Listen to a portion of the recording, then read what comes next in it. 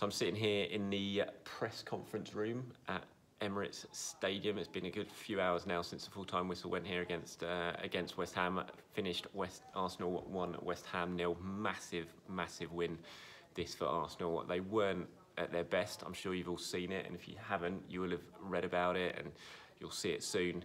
Um, they weren't great. They didn't play anywhere near as well as they could do, but they got the job done, and that was the most important thing here. It's three Premier League wins in a row now for Mikel Arteta's side. It's the first time this season they've done that, which kind of says a lot about the season they've had. Um, and it leaves them just three points off fifth place as we speak at the moment, which obviously might well be enough for the Champions League spots. We'll have to wait and see on that come the end of the season with what happens to Manchester City with their impending UEFA ban. Um, but at the moment, Arsenal can't really think about that. As Arteta said before today's game, it's all about taking things game by game really and just trying to edge their way back up the table. And, um, and they're doing that now with three Premier League wins in a row, nine points from nine. Now this wasn't a good performance, it wasn't a great performance, but it was, you know, they showed good character and mentality to stay in it. They got a bit of luck along the way. Michail Antonio should have scored at least two goals, should have set up one for Sebastian Haller as well. West Ham will count themselves, will be feeling very unlucky.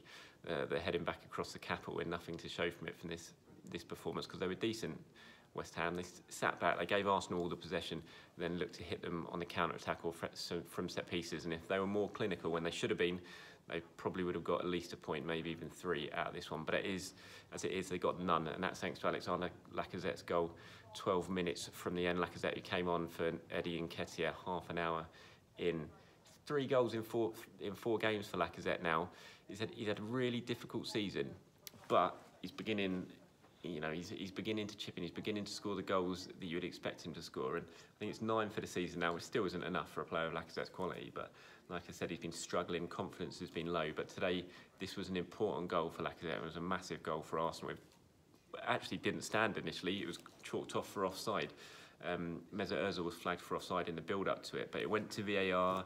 They checked and they checked and they checked. Went on for about three minutes, and in the end, the correct decision was made. I mean, why they didn't make it straight away? Because you could see pretty much on the first replay that Ozil wasn't in, offside in the build-up. Um, it was like it was a Aubameyang shot, looped up in the air, and um, it found Ozil in space, and he did a nice little cushioned header to Lacazette, who volleyed it in for the goal. And it was Ozil that was offside in the build-up, but you could see he wasn't from the first replay. But as I said, typical VAR. It went on, it went on, it went on.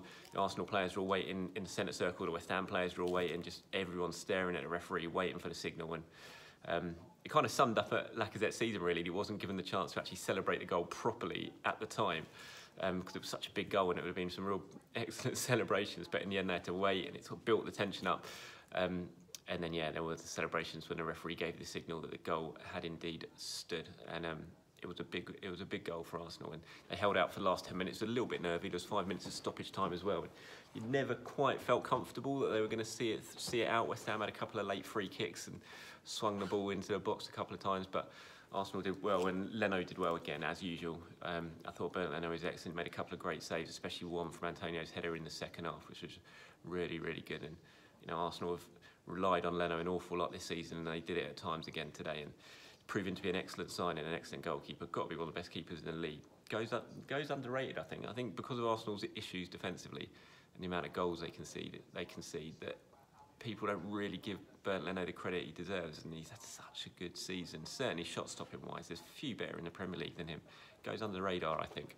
Dani Ceballos, I thought was excellent again today, playing next to Granit Xhaka. I thought played really well, controlled the game, controlled the midfield, got Arsenal moving, and in an otherwise fairly pedestrian Arsenal performance, I thought Ceballos really stood out in the centre of the park. He's just got a lot of quality about him. He's playing very well at the moment, deserving of his spot in the team next to Granit Xhaka, and um, I thought it was another good performance. Mikel Arteta speaking after the game, he was, you know, saying he was happy with the mentality his side showed and the character that his side showed. He admitted they weren't at their best this afternoon, but they got the job done, and that's what he was happy with. And had a lot of good words to say about Lacazette. He said he could tell when the, on the touchline when he was talking to Lacazette, getting ready to send him on, he could tell that he was determined to come on and make the difference. And obviously that's what Lacazette did. Arsenal head to Manchester City on Wednesday night now for that hastily rearranged Premier League game.